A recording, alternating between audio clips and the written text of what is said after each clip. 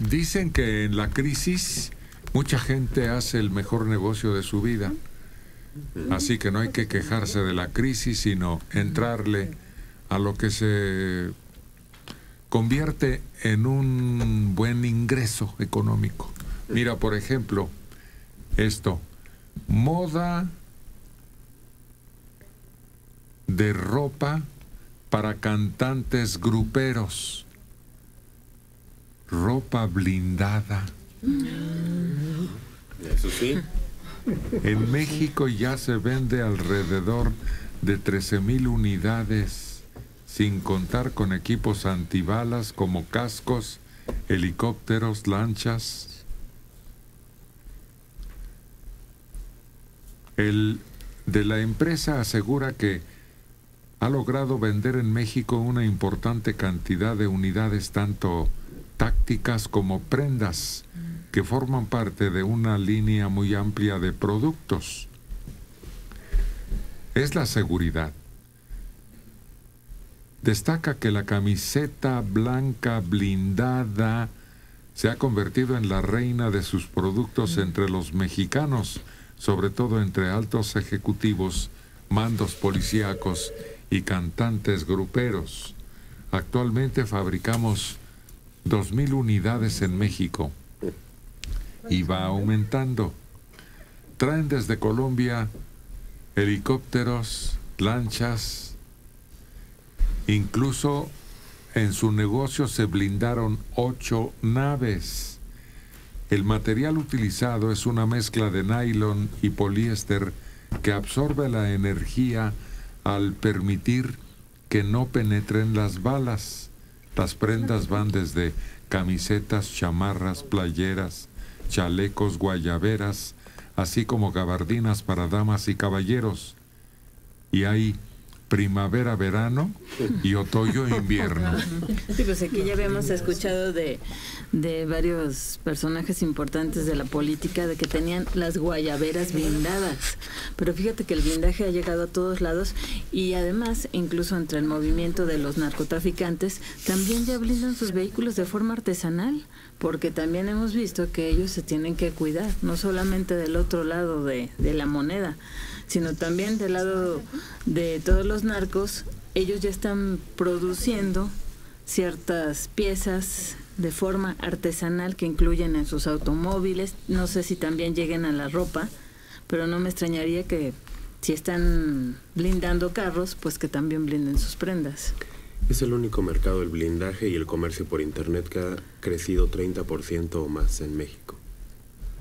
Pero es que no es solo el crimen organizado, la política, todos, cualquiera, clase media, que sube, lo primero que hace es blindar su auto, o blindar el auto de sus hijos, o pagarse una escolta, o armarse y tener una pistola en la casa, Buenos días, o poner cámaras de seguridad, lo que sea, para vivir un poquitito más tranquilos, es lo que da esta industria.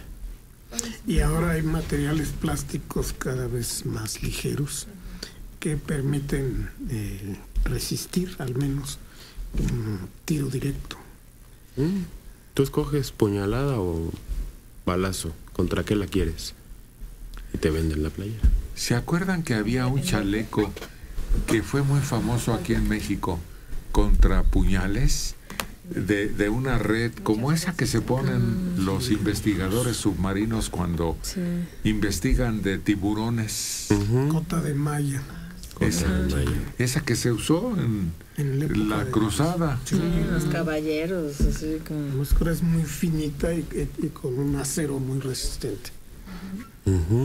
Protege de mordidas de tiburones. No más sienten cosquillitas, dicen. Ay, no te creas. No, deja morado. Deja morado.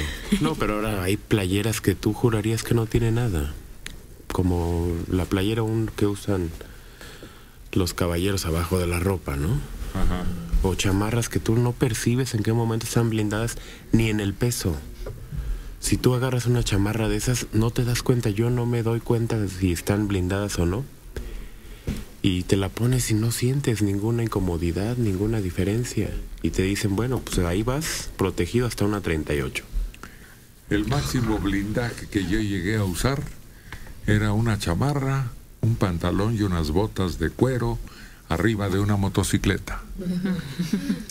Porque si dabas el azotón, tal vez estropeaba tu prenda, pero te libraba. El raspón. Sí. Yo he visto los trajes completos que usan algunos motociclistas, desde el pantalón, las botas, la chamarra, todo con unas protecciones en las rodillas, Sí, en los los codos. En las manos, no usan guantes, sí. Lo primero que te abre son las manos. Se te florean los dedos cuando te... Pero ahora hay chamarras con bolsa de aire y son sensacionales. Lástima que ¿Qué? el precio es prohibitivo para muchos de nosotros, pero son a todo dar. Sales volando de la moto y se infla la chamarra. Caray. Y ahora hay también cascos con protección del cuello y de las cervicales que son también sensacionales. Baja hasta la espalda y te la amarras y te das unos azotones y no te pasa nada. ¿No habrá un traje de tu medida como de Robocop? Sí, Sí, Harley lo maneja y traen en la entretela acero. que hablar. A Harley lo tiene. Clara Pérez. Clara Pérez tenía 14 años, estaba embarazada. Su cuerpo en Argentina fue descubierto en un pozo en posición fetal. Su novio, apenas dos años mayor, la había matado a golpes. ¿Qué edad tiene? Esto despertó una ola de indignación ¿Qué que excede el atroz caso de esta adolescente. Es que se ha soltado una oleada de feminicidios. Los asesinatos de mujeres se disparan. El país es gobernado hace casi ocho años por una mujer, Cristina Fernández. Pues que- Eva Perón, Muy bien. uno de sus radio. símbolos más elevados. Y sin embargo, se comete en Argentina actualmente un feminicidio cada 31 horas. Sí, desafortunadamente esto está pasando. Se culpa a cuatro jóvenes de muy alta posición económica. Anterior a este caso, hubo el de una chica de 16 años que también fue encontrada en posición fetal. Sale ella a correr y ya no regresa. Eh, la situación fue brutal porque la identifican 48 horas después que, que la, que la chica sale. Y parece ser que tienen localizados a estos jóvenes, son cuatro, y se dedican a, pues prácticamente a levantar a las jovencitas.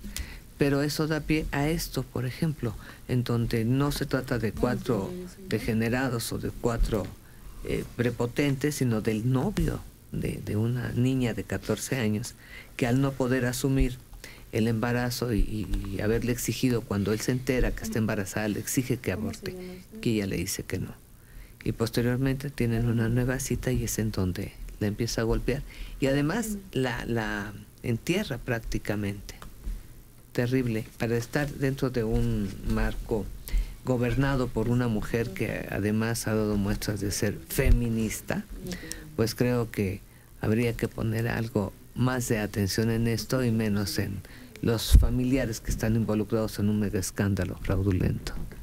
Fue detenido un vehículo, una furgoneta de seis plazas en China. Eran trabajadores de la construcción. Viajaban a su trabajo en ese vehículo con capacidad para seis personas, pero los que detuvieron e inspeccionaron se dieron cuenta que iban 50 chinos. No es chiste. Coche de payaso. Payasos. Maradona. Mis goles eran más lindos que los de Messi.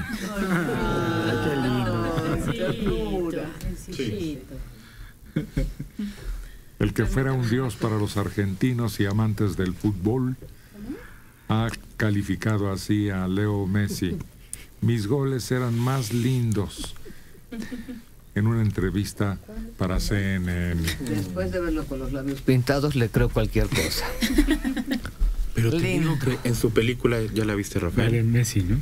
¿verdad que son iguales los goles de Messi a los de Maradona? Excepto el de la mano, todos son igualitos. El de la mano se repite.